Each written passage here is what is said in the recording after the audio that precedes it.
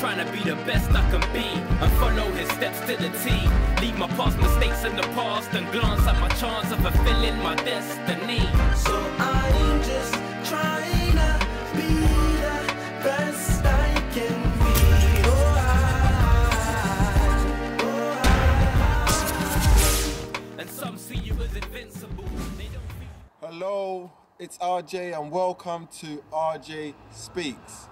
You know, we live in a very materialistic world where everyone wants the latest stuff.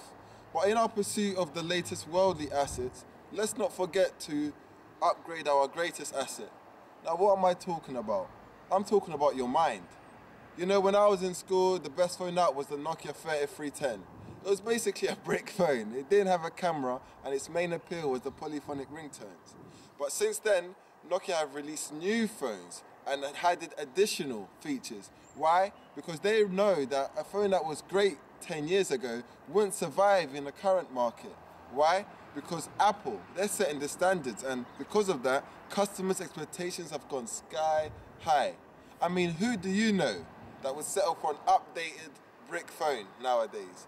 I showed the phone, the 3310, to a group of 15 year olds, and they laughed.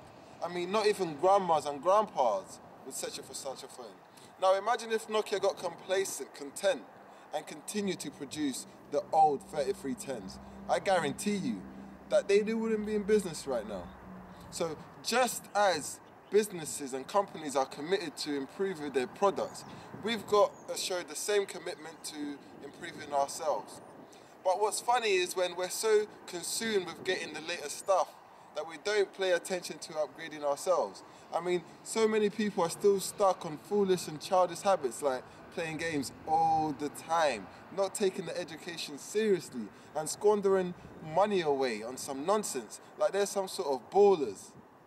I mean, we've got to grow up and really put things into perspective.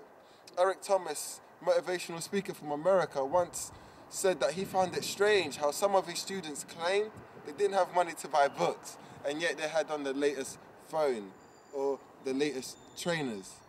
You know, sometimes our unwillingness to let go of silly and childish things prevents us from reaching new heights. There's a proverb that says, When I was a child, I thought like a child.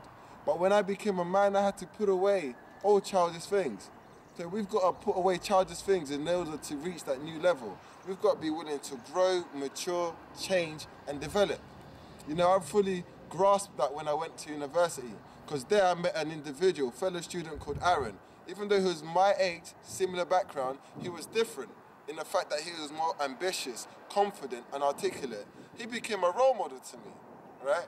Um, he used to engage me in intellectual discussions so that I could improve my communication skills. He would criticize me for using slang to encourage, encourage me to broaden my um, vocabulary. And then he would, uh, you know, challenge me not to aim for a grade C, but go and get the best grade out there. At the time, I was confused. I was like, this guy's putting too much pressure. Get off my back.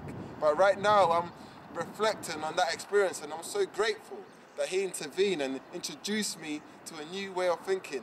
And he challenged me to upgrade my mindset. And just as he challenged me, I'm now challenging you to be the best version of yourself. Go get the upgrade. I'm trying to be the best that I know I can be. But I see the world is quite testing for me. But I will overcome.